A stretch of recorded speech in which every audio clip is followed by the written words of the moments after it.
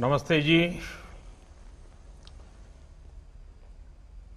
देश में चल रहा स्ट्रक्चरल रिफॉर्म्स का सिलसिला आज एक नए पड़ाव पर पहुँचा है। Transparent taxation honouring the honest 21वीं सदी के टैक्स सिस्टम की इस नई व्यवस्था का आज लोकार्पण किया गया है। इस प्लेटफॉर्म में फेसलेस असेसमेंट फेसलेस अपील और टैक्स पेयर चार्टर जैसे बड़े रिफॉर्म्स हैं।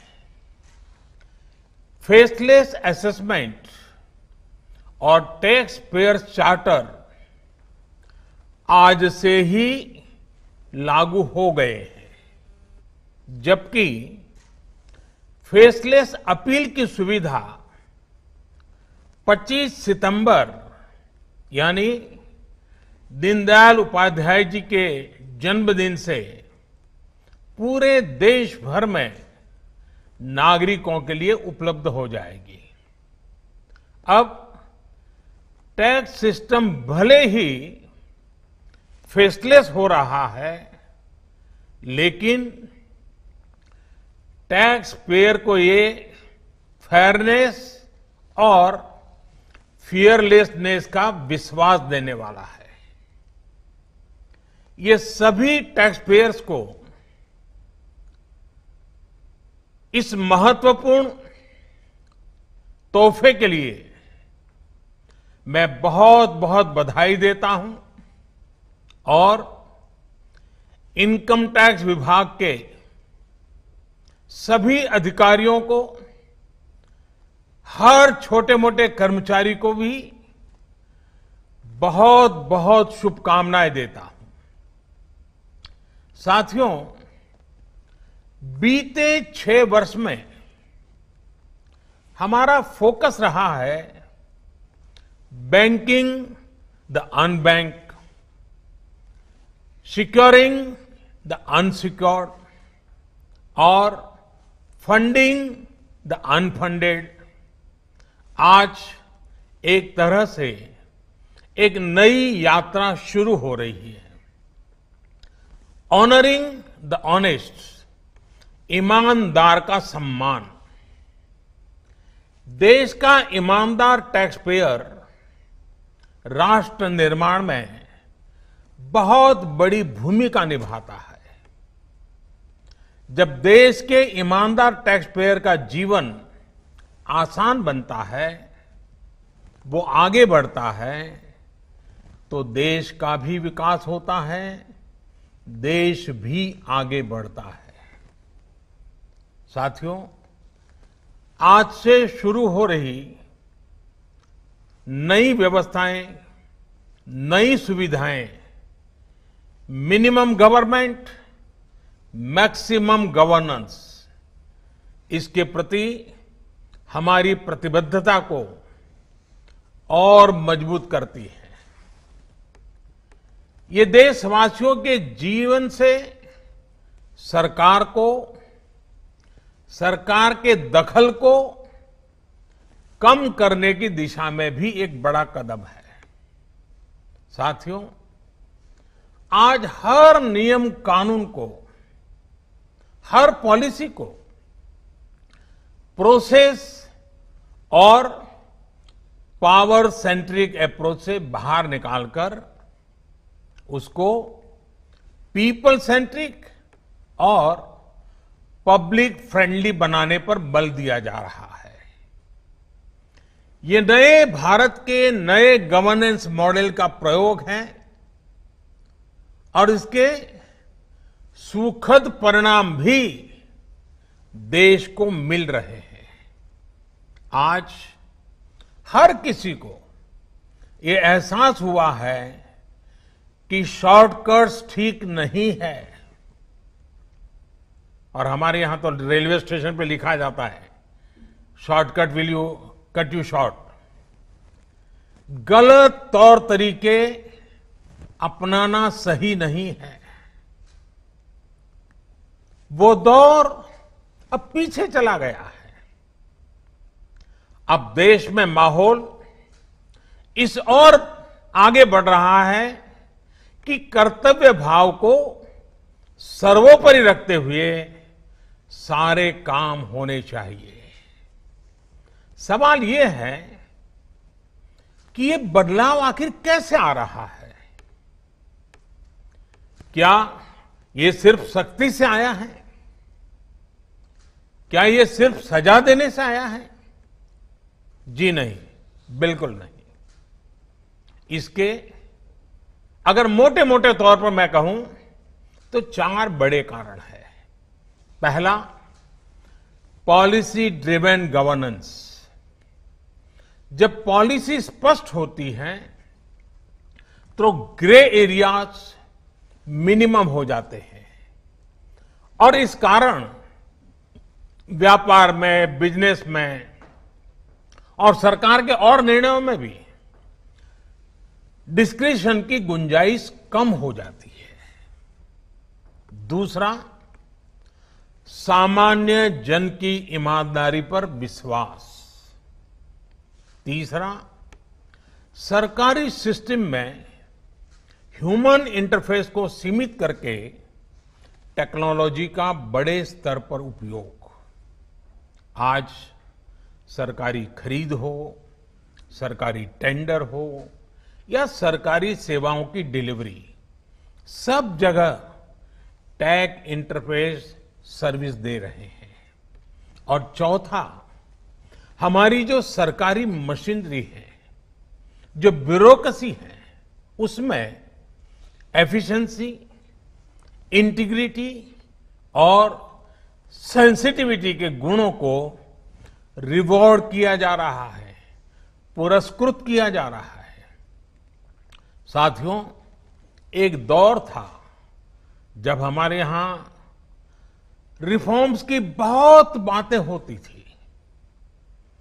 कभी मजबूरी में कुछ फैसले लिए जाते थे, कभी दबाव में कुछ फैसले हो जाते थे तो उन्हें रिफॉर्म कह दिया जाता था। इस कारण इच्छित परिणाम नहीं मिलते थे।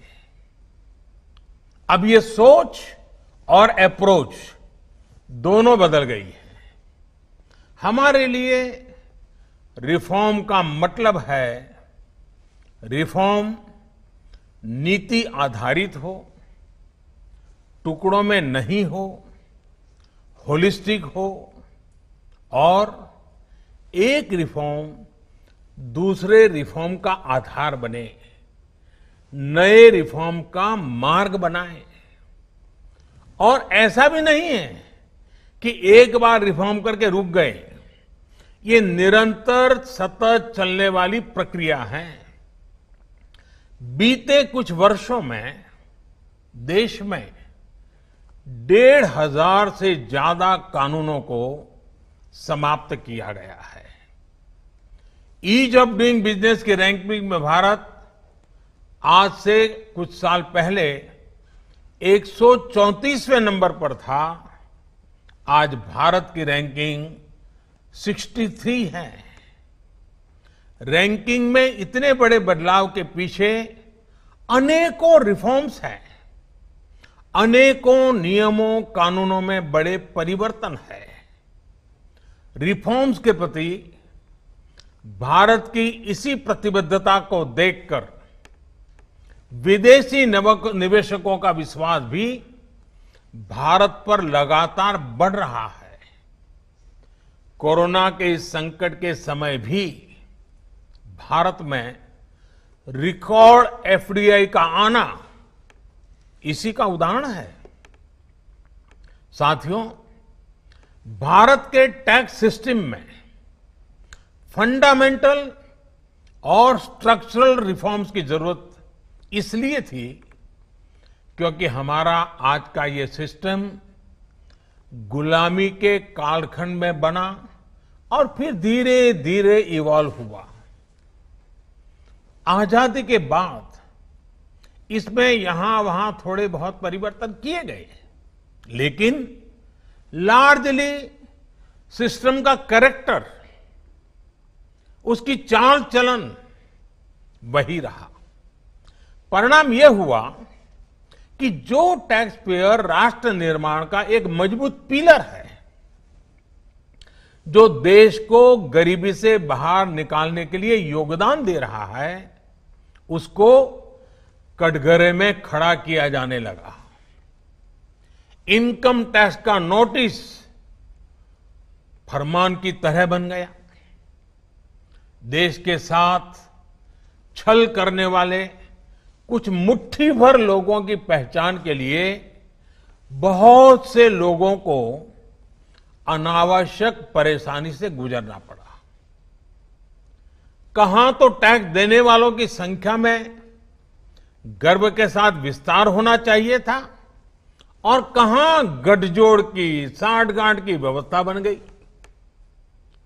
इस विसंगति के बीच ब्लैक और व्हाइट का उद्योग भी फलता फूलता गया।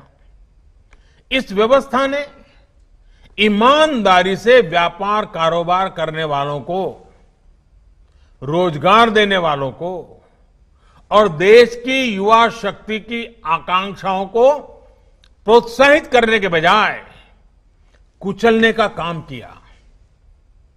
साथियों, जहाँ कॉम्प्लेक्सिटी होती है, वहाँ कंप्लायंस भी मुश्किल होता है। कम से कम कानून हो, जो कानून हो वो बहुत स्पष्ट हो तो टैक्स पेयर भी खुश रहता है और देश खुशहाल होता है। बीते कुछ समय से यही काम करने की दिशा में एक के बाद एक कदम उठाए जा रहे हैं। अब जैसे दर्जनों टैक्सेस की जगह जीएसटी आ गया। रिटर्न से लेकर रिफंड की व्यवस्था को पूरी तरह से ऑनलाइन किया गया। जो नया स्लैब सिस्टम आया है, उसमें बेवजह के कागजों और दस्तावेजों को जुटाने की मजबूरी से मुक्ति मिल गई है। यही नहीं, पहले दस लाख रुपए से ऊपर के विवादों को लेकर सरकार हाई कोर्ट और सुप्रीम कोर्ट पहुँच जाती थी। अब हाई कोर्ट में एक करोड़ रुपए तक के और सुप्रीम कोर्ट में दो करोड़ रुपए तक के केस की सीमा तय की गई है। विवाद से, विश्वास जैसी योजना से कोशिश ये है कि ज़्यादातर मामले कोर्ट से बाहर ही सुलझ जाए। इसी का नतीजा है कि बहुत कम समय में ही करीब तीन लाख मामलों को सुलझाया जा चुका है। साथियों, प्रक्रियाओं की जटिलताओं के साथ साथ देश में टैक्स भी कम किया गया है। पाँच लाख रुपए की आय पर अब टैक्स ज़ीरो है। बाकी स्लैब में भी टैक्स कम हुआ है। कॉरपोरेट टैक्स के मामले में हम दुनिया में सबसे कम टैक्स लेने वाले देशों में से एक हैं। साथियों, कोशिश ये है कि हमारी टैक्स प्रणाली सीमलेस हो पेनलेस हो फेसलेस हो। सिमलेस यानी टैक्स एडमिनिस्ट्रेशन हर टैक्स पेयर को उलझाने के बजाय समस्या को सुलझाने के लिए काम करें। पेनलेस यानी टेक्नोलॉजी से लेकर रूल्स तक सब कुछ सिंपल हो। फेसलेस यानी टैक्स पेयर कौन है और टैक्स ऑफिसर कौन है, इससे मतलब ही नहीं होना चाहिए। आज से लागू होने वाले ये रिफॉर्म्स इसी सोच को आगे बढ़ाने वाले हैं। साथियों, अभी तक तो होता यह है कि जिस शहर में हम रहते हैं, उसी शहर का टैक्स डिपार्टमेंट हमारी टैक्स से जुड़ी सभी बातों को हैंडल करता है। स्क्रूटिनी हो नोटिस हो सर्वे हो या फिर जब्ती हो। इसमें उसी शहर के इनकम टैक्स डिपार्टमेंट की आयकर अधिकारी की मुख्य भूमिका रहती है। अब ये भूमिका एक प्रकार से खत्म हो गई है। अब इसको टेक्नोलॉजी की मदद से बदल दिया गया है। अब स्क्रूटिनी के मामलों को देश के किसी भी क्षेत्र में किसी भी अधिकारी के पास रैंडम तरीके से आवंटित किया जाएगा। अब जैसे मुंबई के किसी टैक्स पेयर का रिटर्न से जुड़ा कोई मामला सामने आता है, तब इसकी छानबीन का जिम्बा मुंबई के अधिकारी के पास नहीं जाएगा, बल्कि संभव है कि वो चेन्नई चला जाए, गुवाहाटी चला जाए, रायपुर चला जाए, अहमदाबाद चला जाए, वो फेसलेस टीम के पास जा सकता है। और वहाँ से भी जो आदेश निकलेगा, उसका रिव्यू किसी दूसरे शहर, कहीं जयपुर हो जाएगा, बेंगलुरु हो जाएगा, चेन्नई हो जाएगा, कोची हो जाएगा, वहाँ की टीम करेगी। अब फेसलेस टीम कौन सी होगी? इसमें कौन होगा? ये भी कंप्यूटर रैंडमली तय करेगा। और ये प्रक्रिया भी बार बार उसमें बदलाव होता रहेगा। साथियों, इस सिस्टम से करदाता और इनकम टैक्स दफ्तर को जान पहचान बनाने का, प्रभाव और दबाव का मौका अब ज़ीरो हो गया। सब अपने अपने दायित्व के हिसाब से काम करेंगे। डिपार्टमेंट को इससे लाभ ये होगा कि अनावश्यक मुकदमेबाजी बचेंगे उससे। दूसरा, ट्रांसफ़र पोस्टिंग में लगने वाली गैर ज़रूरी ऊर्जा से भी अब राहत मिलेगी। इसी तरह, टैक्स से जुड़े मामलों की जाँच के साथ साथ अपील भी अब फेसलेस होगी। साथियों इस एक महत्वपूर्ण रिफॉर्म के साथ साथ आज भारत एक बहुत महत्वपूर्ण कदम उठा रहा है, और वो है टैक्स पेयर चार्टर ये टैक्स पेयर चार्टर भी देश की विकास यात्रा में बहुत बड़ा कदम है, और टैक्स पेयर के लिए अधिकार और कर्तव्य दोनों को संतुलित करने का और सरकार की जिम्मेवारी पक्की करने का ये बहुत अहम कदम है। टैक्स पेयर को इस तरह का सम्मान और सुरक्षा देने वाले दुनिया में बहुत कम देश है, गिने चुने देश है। लेकिन अब भारत भी इस महत्वपूर्ण कदम की ओर अपने आप को ले जाकर के उसमें शामिल हो गया है। अब टैक्स पेयर को उचित, विनम्र और तर्क संगत व्यवहार का भरोसा दिया गया है। यानी आयकर विभाग को अब टैक्स पेयर की डिग्निटी का संवेदनशीलता के साथ ध्यान रखना होगा।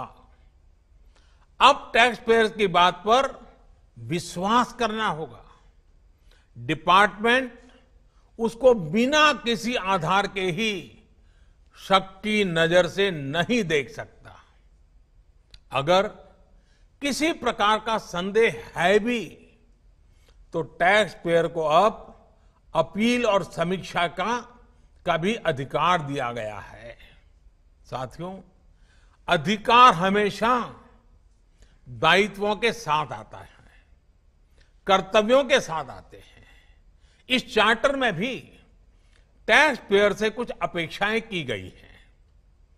टैक्स पेयर के लिए टैक्स देना या सरकार के लिए टैक्स लेना, ये कोई हक का अधिकार का विषय नहीं है, बल्कि ये दोनों का दायित्व है, जिम्मेवारी है, कर्तव्य है रिस्पॉन्सिबिलिटी है। टैक्स पेयर को टैक्स इसलिए देना है क्योंकि उसी से सिस्टम चलता है। देश की एक बड़ी आबादी के प्रति देश अपना फ़र्ज़ निभा सकता है। और उज्जवल भविष्य की ओर कदम भी रख सकता है। इसी टैक्स से खुद टैक्स पेयर को भी तरक्की के लिए, प्रगति के लिए बेहतर सुविधाएँ और इंफ्रास्ट्रक्चर मिल पाता है।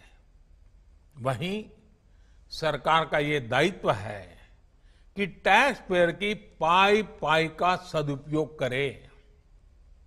ऐसे में आज जब करदाताओं को सुविधा और सुरक्षा, ये दोनों मिल रही हैं तो देश भी हर टैक्स पेयर से अपने दायित्वों के प्रति ज़्यादा जागरूक रहने की अपेक्षा करता है। साथियों, देशवासियों पर भरोसा, इस सोच का प्रभाव कैसे जमीनी पर नज़र आता है, ये समझना भी बहुत ज़रूरी है। वर्ष 2012-13 में जितने टैक्स रिटर्न होते थे, उसमें से 0.94 परसेंट की स्क्रूटनी होती थी। वर्ष 2018-19 में ये आंकड़ा घटकर 0.26 परसेंट पर आ गया है। यानी केस की स्क्रूटनी करीब करीब एक चौथाई हो गई है, चार गुना कम हुई है। स्क्रूटनी का चार गुना कम होना अपने आप में बता रहा है कि बदलाव कितना व्यापक है। साथियों, बीते छह वर्षों में भारत ने टैक्स एडमिनिस्ट्रेशन में गवर्नेंस का एक नया मॉडल विकसित होते देखा है। We have decrease complexity decrease taxes, decrease litigation increase transparency increase tax compliance increase trust on the tax payer साथियों इन सारे प्रयासों के बीच बीते छह सात साल में इनकम टैक्स रिटर्न भरने वालों की संख्या में करीब ढाई करोड़ की वृद्धि हुई है। ये वृद्धि तो बहुत बड़ी है, लेकिन इस बात का हम इनकार नहीं कर सकते हैं कि इसके बावजूद भी 130 करोड़ के देश में ये बहुत कम है, बहुत कम है। इतने बड़े देश में सिर्फ़ 130 करोड़ में से डेढ़ करोड़ साथी ही इनकम टैक्स जमा करते हैं। 130 करोड़ में डेढ़ करोड़। मैं आज देशवासियों से भी आग्रह करूँगा, जो सक्षम है उनको भी आग्रह करूँगा। भिन्न भिन्न करके व्यापार उद्योग के संगठन चलाते हैं, उनको भी आग्रह करूँगा। इस पर हम सबको चिंतन करने की ज़रूरत है। देश को आत्मचिंतन करना होगा। और ये हमारा आत्मचिंतन ही आत्मनिर्भर भारत के लिए आवश्यक है, अनिवार्य है। और ये ज़िम्मेदारी सिर्फ़ टैक्स डिपार्टमेंट की नहीं है, ये जिम्मेवारी हर हिंदुस्तानी की है, हर भारतीय की है। जो टैक्स देने में सक्षम है, लेकिन अभी वो टैक्स नेट में नहीं है, वो स्व प्रेरणा से अपने आत्मा को पूछे, आगे आए, और अभी दो दिन के बाद पंद्रह अगस्त है आज़ादी के लिए मरण मिटने वालों को जरा याद कीजिए। आपको लगेगा, हाँ, मुझे भी कुछ न कुछ देना चाहिए। आइए, विश्वास के, अधिकारों के, दायित्वों के, इस महत्वपूर्ण भावना का सम्मान करते हुए, इस प्लेटफॉर्म का सम्मान करते हुए, नए भारत, आत्मनिर्भर भारत के संकल्प को सिद्ध करें। एक बार फिर, देश के वर्तमान और भावी ईमानदार टैक्स पेयर को बहुत बहुत बधाई देता हूँ, शुभकामनाएँ देता हूँ, और ये पहल, ये बहुत बड़ा फैसला लिया गया है। इनकम टैक्स के अधिकारियों को भी जितनी बधाई दे, उतनी कम है। हर टैक्स पेयर ने इनकम टैक्स अधिकारियों को भी बधाई देनी चाहिए। क्योंकि एक प्रकार से उन्होंने अपने आप पर बंधन डाले हैं। अपने खुद की ताकत को, अपने आप, अपने अधिकारों को उन्होंने खुद ने काटा है। अगर इनकम टैक्स डिपार्टमेंट के अधिकारी इस प्रकार से आगे आते हैं तो किसको गर्व नहीं होगा? हर देशवासी को गर्व होना चाहिए। और पहले के जमाने में शायद टैक्स के कारण कुछ समस्याएँ होगी, लोगों ने टैक्स देने के रास्ते पर जाना पसंद नहीं किया होगा। अब जो रास्ता बना है, वो टैक्स देने की तरफ़ जाने का आकर्षक रास्ता बना है। और इसलिए आइए, भव्य भारत के निर्माण के लिए इस व्यवस्था का लाभ भी उठाएँ और इस व्यवस्था को जोड़ने के लिए आगे भी आए। मैं फिर एक बार आप सबका बहुत बहुत धन्यवाद करता हूँ अनेक अनेक शुभकामनाएँ देता हूँ।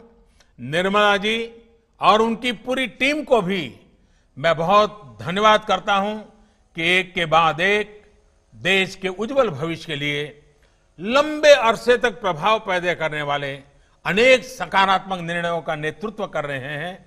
मैं फिर एक बार सबको बधाई देता हूँ, सबका धन्यवाद करता हूँ।